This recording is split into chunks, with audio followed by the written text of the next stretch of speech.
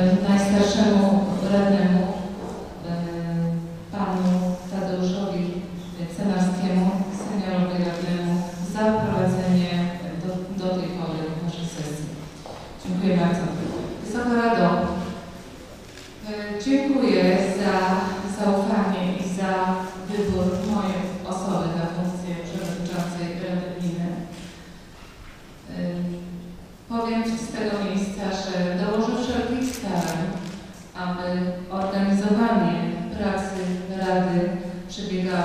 Przebiegało sprawnie, było merytoryczne, e, a wszystkich Państwa, e, którzy nie znają mnie jeszcze e, i wszystkich tych, którzy mnie znają, zapraszam do współpracy. Jest to nowy czas, nowa kadencja, nowa rada. Zacznijmy dobrze. Zapraszam wszystkich do współpracy. Dziękuję bardzo.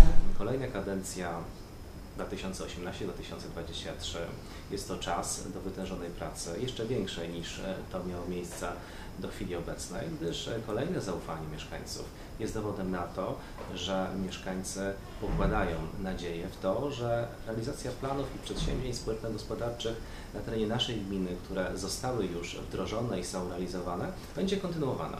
I zapewniam mieszkańców e, i wszystkich zainteresowanych, że nasza gmina będzie dalej rozwijała się w różnych obszarach, zarówno modernizacja naszego e, zasobu gminnego, ale także i wchodzenie w te tak zwane obszary, e, które będą możliwe do pozyskania w ramach środków zewnętrznych i otwierających się projektów i perspektyw, zarówno z kierunku administracji rządowej, ale także i samorządowej wyższego szczebla, będą przez nas podejmowane. I mam nadzieję, że te następne 5 lat które jest przed nami, na pewno będzie czasem dobrych inicjatyw i jednocześnie zrealizowania pełnego, zrealizowania tych wszystkich projektów, które zostały rozpoczęte w kadencjach wcześniejszych. I co ważne, zapewniam mieszkańców, że nie zejdziemy z naszej ścieżki rozwoju i będziemy też starali się, ażeby nasi mieszkańcy u progu kolejnej kadencji 2023 też byli przeświadczeni, że właśnie ten kierunek, który obraliśmy, e, będziemy dalej kontynuować. Co też ważne, chciałbym to mieszkańcom powiedzieć, że te wszystkie elementy, które zostały zaprzepaszczone w kadencji 2000 niestety 14-2018, chociażby mówimy tutaj o zaprzepaszczeniu możliwości uzyskania przez gminę e, praw miejskich, będą oczywiście ponownie realizowane i mam nadzieję, że w tej kadencji, szczególnie mając na względzie fakt, że Rada Gminy jest radą większościową, będą mogły być przegłosowane zgodnie z wolą naszych mieszkańców, która przecież była wyrażona już kilka lat temu w konsultacjach społecznych. Rada Gminy w kadencji, która już minęła, pokazała, jak wiele złego można zrobić w przypadku nieżyczliwości względem organu wykonawczego, względem wójta.